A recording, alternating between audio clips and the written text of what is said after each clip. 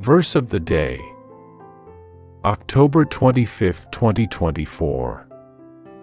Do nothing from selfish ambition or conceit, but in humility count others more significant than yourselves. Let each of you look not only to his own interests, but also to the interests of others. Philippians 2 verses 3 to 4. Thoughts on today's verse.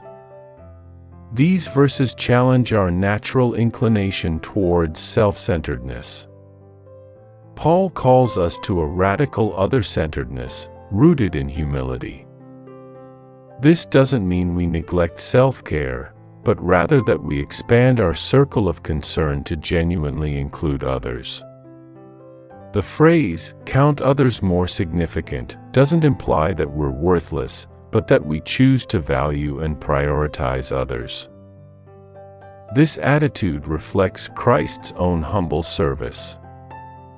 When we look to others' interests alongside our own, we create communities of mutual care and support. Prayer God, root out selfishness and pride from my heart. Teach me true humility. Help me to genuinely care for others, valuing their needs and interests. Shape me to be more like Jesus in how I treat those around me. Use me to build up others in love.